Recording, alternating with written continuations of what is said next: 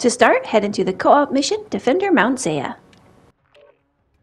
Select your favorite gun from the weapon wall and then grab two sentry guns from the supply crate, and then make your way to A. And no, we will not be killing the bots at A over and over again this time. Place your sentry guns and then take out the bots as quickly as possible.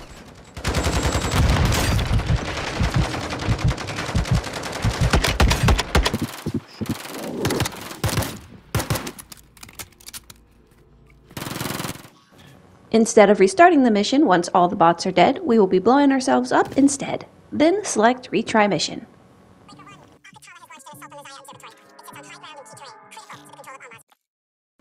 Now we need to defend either B or C, so again, grab your weapon from the wall and two sentry guns.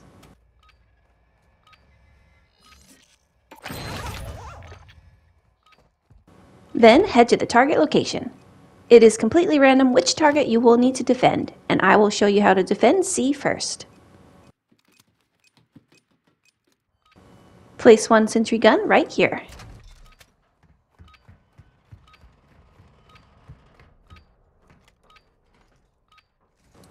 And then place the other facing this direction. The sentry guns will kill most of the bots, but you will want to help them out to maximize the amount of XP you get.